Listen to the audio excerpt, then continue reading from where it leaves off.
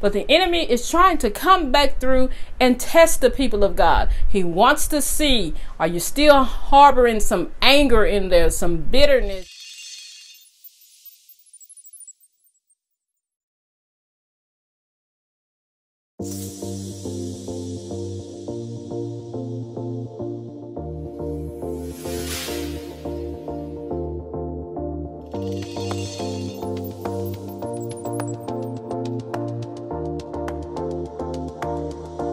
Blessings, family. How's everybody doing? You know that I pray that all is well with you. Welcome back. I am so excited to be able to come before you today with another encouraging word from the Lord. You know that I do count it a blessing and an honor each and every time that I come before you. You know that I don't take my assignment lightly. But once again, I want you to know that I'm very, very grateful for you all. I pray that you all are still being blessed out there and that your family is still being blessed also. I'm telling you, we just serve a mighty God, an awesome God.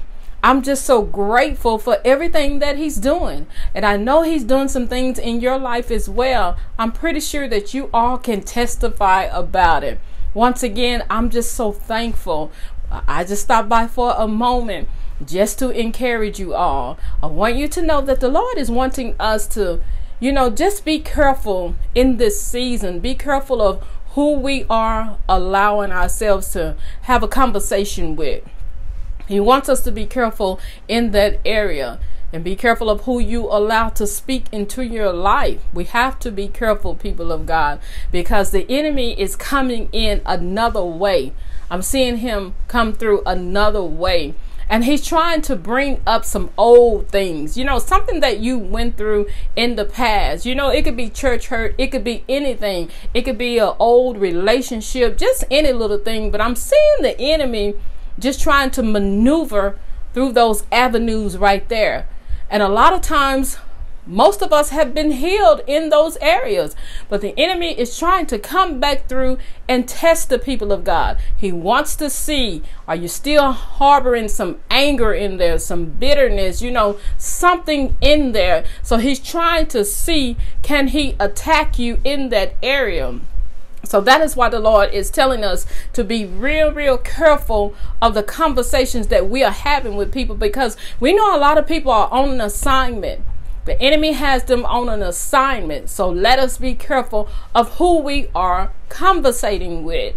Once again, I'm seeing this happen a lot. He's just trying to replay the past. He's trying to do these things, see what triggers you. That's basically what he's trying to do. He's trying to see what triggers the people of God. But once you have been healed in that area, he cannot get you right there no more. So let us be careful, people of God, because we know that the enemy do not play fair and he uses anybody that will allow him to. So it can be anyone. It could be a so-called friend. It could be a relative. It can be anyone that he will try and use to bring something old to you. Yes, he will try that.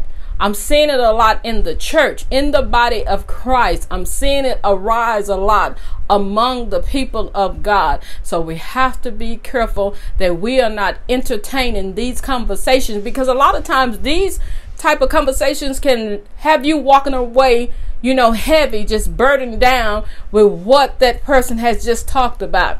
So you have to be careful. Or you could just be on the on the phone call with them, but you could walk away feeling a certain way.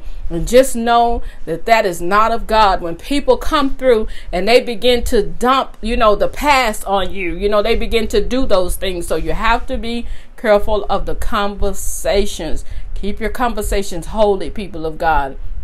The enemy is just looking for any kind of way that he can get in and play that remember game with you. I don't play the remember game. No, I do not remember that. The Lord has forgiven, you know, us for so many things, but the enemy don't forget.